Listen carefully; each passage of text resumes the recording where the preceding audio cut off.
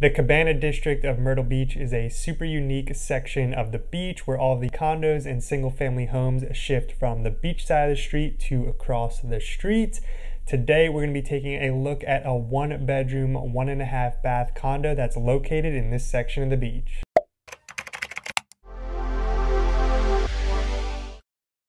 Hey there, welcome to another video. And if you're new here, thank you for stopping by. My name is Nick Paolozzi, and I'm a real estate agent here in Myrtle Beach, South Carolina with Remax Southern Shores. And this channel is dedicated to helping you relocate to the area. On this channel, I talk about things to do here. I give tips and advice about the area. And of course, I talk about the real estate. So if any of that sounds interesting to you, go ahead and hit the subscribe button below and the notification bell while you're at it. I post on this channel weekly, and if you hit those two buttons, you'll be the first to know every single time I post a new video. While you're down there, do me a favor and hit that like button as well. And now that you've done that, we can go ahead and hop in today's topic. Okay, so as I previously mentioned, today we're going to be checking out a one bedroom, one bathroom condo located in the Cabana district of Myrtle Beach. This section of the beach is located not too far down the road from the Golden Mile, which, if you're unfamiliar, is a section of beach that is filled with these massive oceanfront single family homes. Let me know down in the comments below if that is something you want to see a video on in the future. But today we're talking about the Cabana District, which is again a section where all of the homes and condos switch from the beach side of the street to across the street leaving a section of the beach that is nice and flat. And this area here is filled with these little huts or cabanas that I am told were once associated with the homes across the street, but now are sold separately. Now, these little huts and their parcels are privately owned, but you cannot live in them. They're typically just little kitchens and bathrooms that you can use for a day at the beach. This section of the beach is also filled with these public gazebos, playgrounds, and fitness equipment all along the sidewalk there along the street, which makes it a great little area to get outside and enjoy the outdoors. So as we come around this bend here on North Ocean Boulevard, you'll get a little peek of what I was talking about. That pirate ship in the background is a playground for the kids. You can see we are passing some cabanas there on the right as well. That tall building with the glass windows, that is a Forest Dunes Resort. And as you can see, there is a big open space to the right where there are no houses or condos because they are all across the street on the left side. We're passing some more cabanas there on the right, and as you can see, there's a nice strip of beach where there is nothing on the right side or the beach side of the street. You can see there's a nice sidewalk here, and if you look closely, you can see a bunch of benches and a little fitness equipment set up along the street that you can use while you're going for a walk or jog here along the street. And again, this is a nice stretch of beach where there's nothing on the right side besides these little gazebos and cabanas. We're passing a couple more of them here on the right. And I'm going to give you a little bit better of a view here as we pass some more fitness equipment and a couple more cabanas. And yeah, that's a little peek here of the cabana section of Myrtle Beach, South Carolina.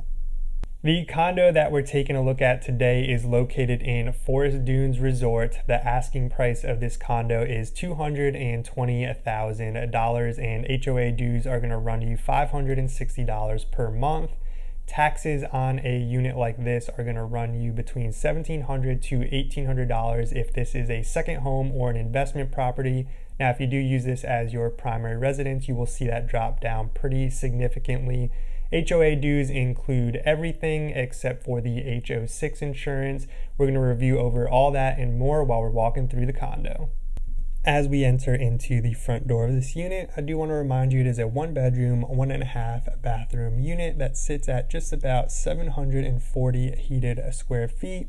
It is listed for $220,000. And once again, the HOA dues are going to run you $560 per month. These HOA dues do include everything, including all of your utilities and the insurance for the building.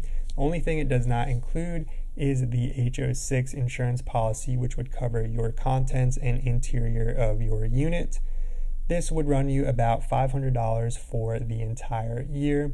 If you're unfamiliar with HO6 policies, feel free to reach out. I'll be happy to answer any questions that you might have. Short term rentals are allowed at this building, and the estimated gross yearly income is about $30,000 for the entire year. Owners can have pets here as long as you register them with the HOA, but guests unfortunately cannot have pets. This building is considered a condo condotel, so you would need special financing if you wanted to finance a unit here. If you have questions about that, feel free to reach out and I will hook you up with a lender who can handle that for you. Again, taxes here would run you about $1,700 to $1,800 for the entire year if this was a second home or an investment property.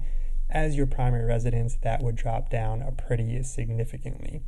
This building does have an outdoor pool, a lazy river, two hot tubs, an indoor pool which is heated year round. It has a gym, a laundry facility, and a restaurant and a bar. There is an oceanfront gazebo with beach access directly across the street. I'm going to give you a peek here at this balcony and the view of the ocean. All of these units are a side view of the ocean. If you were closer to the front of the building, the view would be a little bit better. But we're currently on the seventh floor, and there is a good view over this building in front. There is your lazy river, two hot tubs, and your pool. I'm going to show you here how big this balcony is. It is pretty significant for a, a unit like this. And I'll swing around and give you one last peek of the unit as we finish up this tour here at Forest Dunes that is going to conclude today's condo tour here in the Cabanas section of Myrtle Beach, which again is located right down the road from the Golden Mile. Again, if you want to see a video on the Golden Mile in the future, feel free to comment down below. Also, check out the description below. I'll leave a link down there for all the condos that are currently for sale in Myrtle Beach. You'll also find a link where you can contact me down in the description as well Feel free to reach out with any questions or concerns that you might have about the area. I look forward to helping you in any way that I can. Also, be sure to check out some of my past videos on this channel. I have tons of great content I recommend starting here, and I look forward to seeing you in the next one. Peace.